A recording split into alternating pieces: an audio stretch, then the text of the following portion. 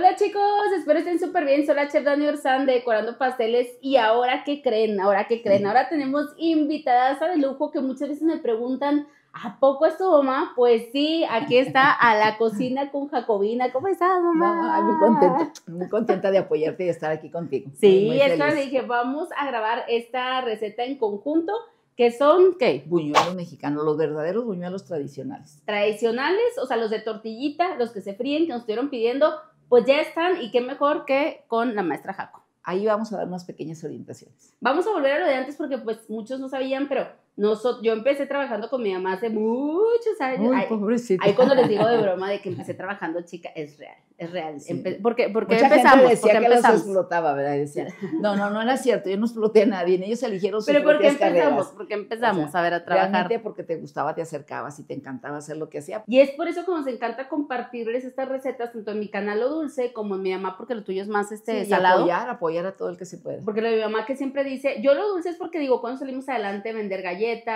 ahorita que vamos a hacer buñuelos, les voy a ser bien sincera, nosotros hacíamos buñuelos de tortilla, la freíamos una tortilla como base de mantequilla Buscarla más delgadita. y, y con eso estaba perfecta, pero cuando hacíamos estos de masa, pues sí lleva un poquito más de trabajo. Yo la verdad los buñuelos de masa nunca los he hecho, eso sí tengo que decirlo, es receta que vamos a hacer ahorita de mi mamá, pero este, les aseguro que va a quedar bien rica. Y lo hacíamos mucho por necesidad, les comento, y mi mamá mucho en los salados, siempre me acuerdo, por ahí en las historias que comentabas tú, Sí. que llegabas a veces sin dinero a hacer Sí, sí, despensa. a ver qué, qué es lo que iba a hacer de comer, ideaba muchas recetas nuevas y comían siempre muy bien. Y que Y, decías, ay cuando- Dios mío, sí, a ver y qué. que nunca tuvieron la ilusión de ir a un restaurante gourmet o fino, siempre les es- empecé a cocinar de todo. Como no había con qué ir a ningún Pero aprendía. restaurantes, mi mamá lo que hacía es que se ponía a investigar recetas, lo que Era de un buen Lo que era de restaurante. un buen restaurante. O sea, por ejemplo, comida china, le estoy diciendo desde hace como 18 años o más. Mi mamá hacía comida china en la casa y todo, y era el boom, y con eso también hacía cursos de cocina. No, mi mamá, miren, súper, súper emprendedora, siempre buscaba la manera, nunca nos faltó comida en la mesa, eso te lo agradezco mucho, sí, mamá, sí, eso te lo agradezco mucho. Y buena comida. buena comida. Yo creo que si yo comí bien desde chiquita de todo y saber de comer de mucha cocina diferente es porque mi mamá le apasionaba y le sigue apasionando la cocina.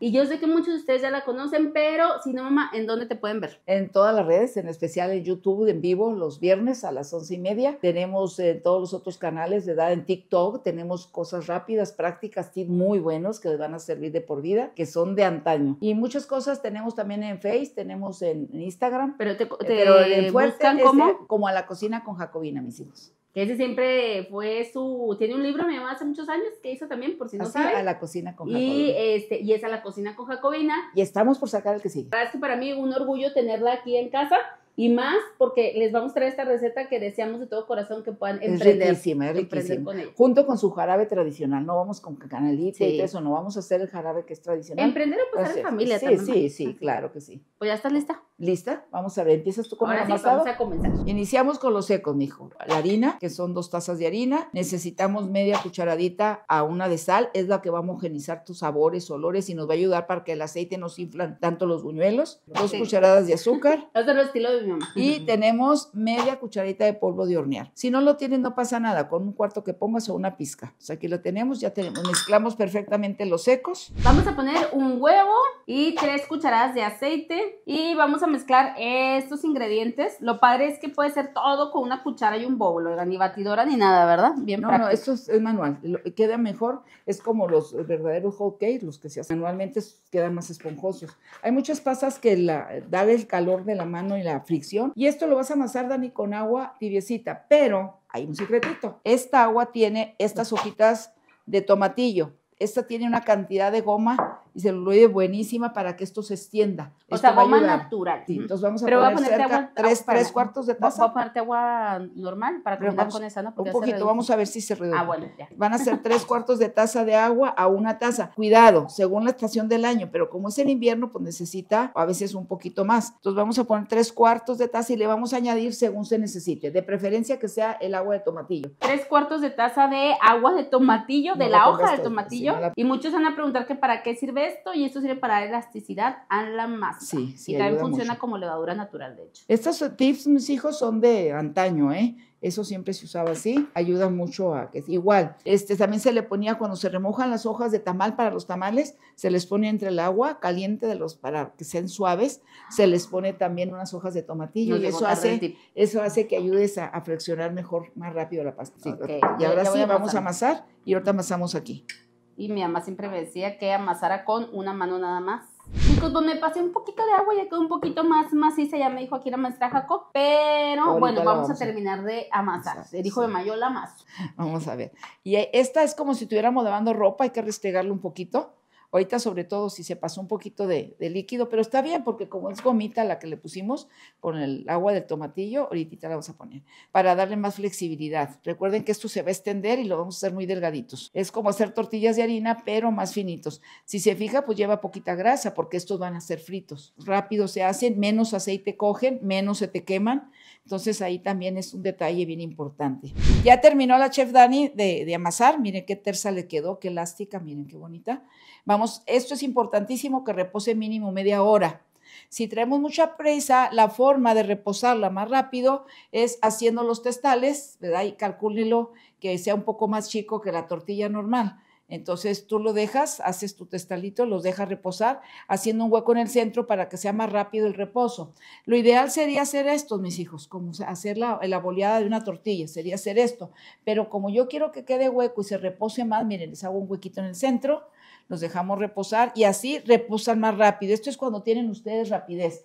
Pero lo ideal es que la masa repose más tiempo. Miren, nada más es como que le la toman así, le pellizcan y van sacando su testalito. Entonces, como que la medida de su manita puede ser la medida para que no estén como quileando. Y como o, dijo o mi, pesando. Y como dijo mi mamá, van haciéndole así. Yo la verdad sí batallé un poquito, entonces yo, yo sí prefiero hacerlo. La boleada es La correcto, boleada. como boleas tú, mija, y lo ya planas, ¿verdad? Exacto. En este caso Ay, yo quiero que repa- yo quiero andar ya más aplana, yo lo que quiero es que repose, ¿verdad? Entonces, Así que vamos a hacer eso con todo. reposar de 3 a 4 minutos, Dani. Este va a ser rapidito. La verdad es que aquí el tiempo es oro, entonces tres minutitos y ojo porque nos salieron 20 piezas en total.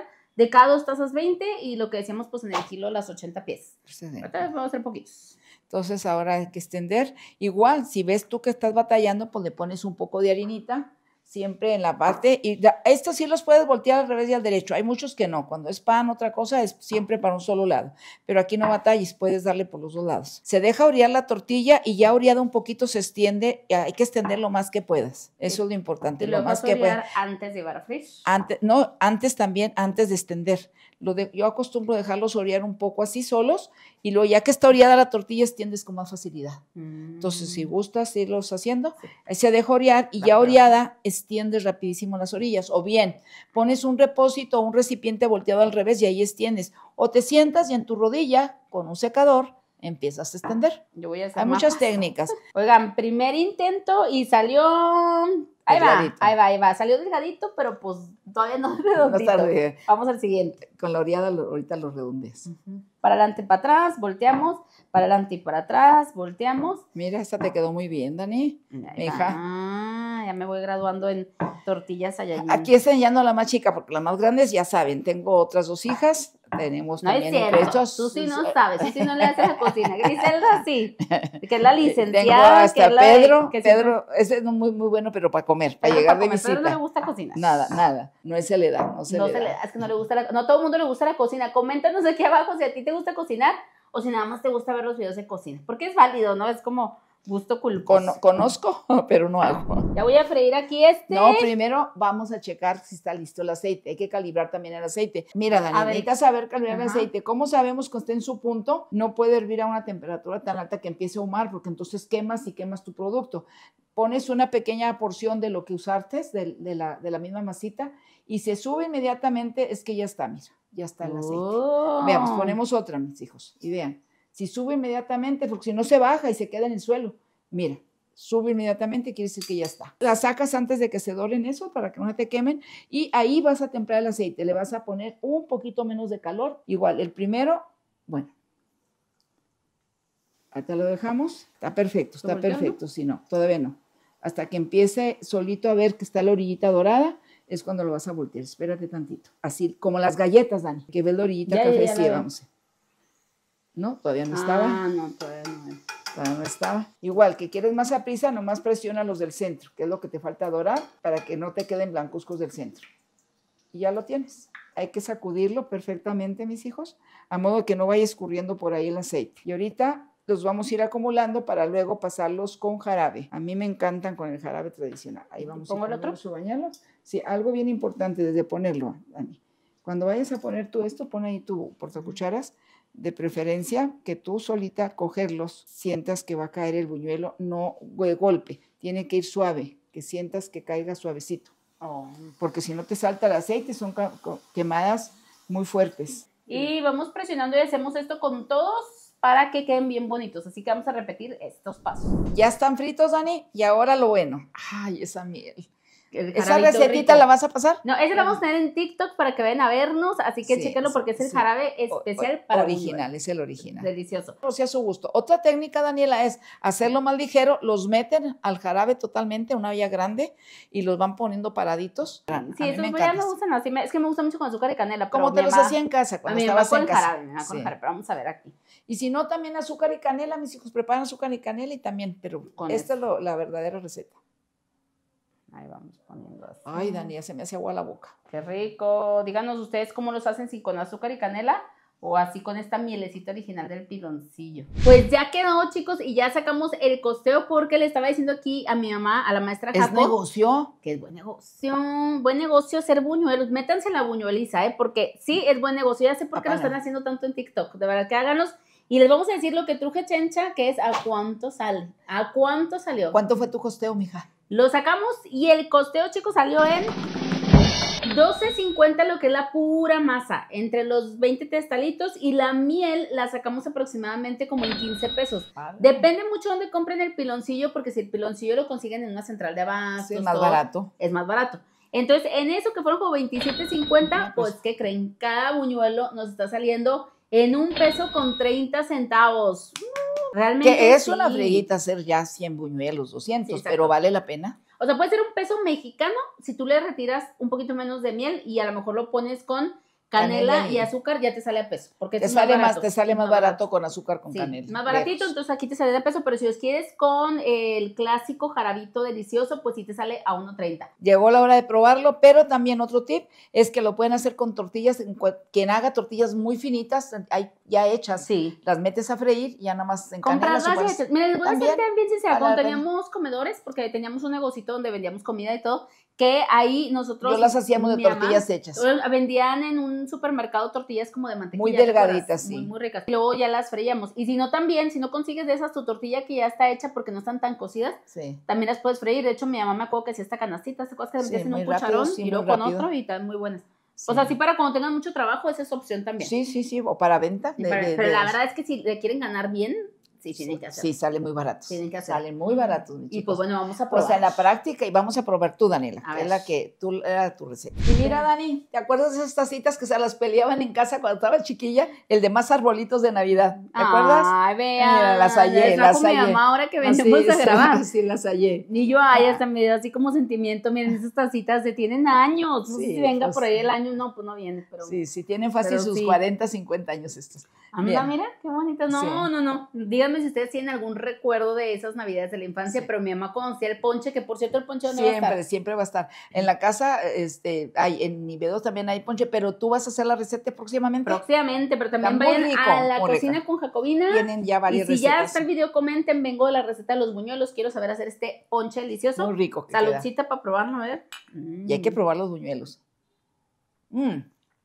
Esta delicia, o con un buen champurrado o un buen ponche. Hacer ponche en la casa huele a Dijo ayer Barbarita al grabar, no tienes idea, dice, ay, ¿por qué huele tan rico, mija? Porque todo el día estoy haciendo cosas ya para Navidad. Ay, sí, a mis hermanos, a mí yo creo que nos encanta llegar a casa de mi mamá y que huele a Navidad. Yo por eso no hago ponche en mi casa, porque me gusta ir a casa de mi mamá a tomar Ah, Sí, ya está listo. Vamos a probar los buñuelos. Ya nada más le pusimos un poco de canela azúcar para que no queden tan empalagosos. En qué crujientes. Mm. Mm. Te quedaron muy bien. Nos quedaron. Pero, Mm. de hecho, yo soy más de la miel. Me encanta más con la miel. la miel, cómo la miel. Sí, me encanta. Mm, está delicioso. Oigan, chicos, mm, pues a todos les mando muchos saludos azucarados. La verdad, deseándoles que pasen muy felices fiestas, que la pasen muy bonito. mm, que esta actividad si la pueden hacer en familia, háganla como le hice con mi mamá. Muchas gracias por haber venido a visitarnos aquí a nuestros seguidores, a los pastelovers, aquí a los azucarados que nos encanta todo el mundo de los postres. Gracias, gracias. Felices Navidad. Mamá, Feliz Navidad. Por muchos años más, porque déjenme les digo que mi mamá, la maestra Jaco, cumple el 24 de diciembre. ¿Cuántos vas a cumplir? 75 años, Danilla. 75 años. Ya estoy viejilla, mija. Es que yo soy el pelón de mi mamá. Para los que no sepan, yo soy la chiquita. Yo soy la cuarta de cuatro. Yo fui como el pilón. El, la verdad no era el esperado, pero te sale bien. Muy linda, sí, está muy linda, muy linda. Ah, muy trabajadora, muy trabajadora, muy inquieta, muy, muy creativa. Me, me gusta felicito, también. Te felicito. Sí, ya ves, ya, me la va a mirar. Ah. Bueno, para que nos sientan mis hermanos. Saludos a todos los demás hermanos de la maestra. Ay, o sea, mis hermanos. somos cuatro, somos cuatro. yo soy el pilón. Todos me llevan como sus. Pero todos nos apoyan, todos están integrados en esto. Pero Todos están integrados en esto. Sí, la verdad es que sí. Pero pues bueno, chicos, muchas gracias. Por ahí también sigan a Prohora Gastronómica, que es el negocio donde están todos, están mis hermanos y todos. Y por aquí nos vemos en el próximo video. Y, sigan las redes de mi mamá. La cocina, a la, a la, cocina, con, Jacobina. Jacobina. Ay, no, ese canal. Y bueno, chicos, que pasen muy felices fiestas, que la pasen muy bonito. Y les deseamos mucha venta y mucho éxito con estos deliciosos Cuídense, cuídense, ámense mucho, porque de este mundo nomás nos vamos a llevar lo bien vivido y lo bien comido, mis hijos. Mm, mm, saludos a todos. Feliz Navidad, feliz Navidad.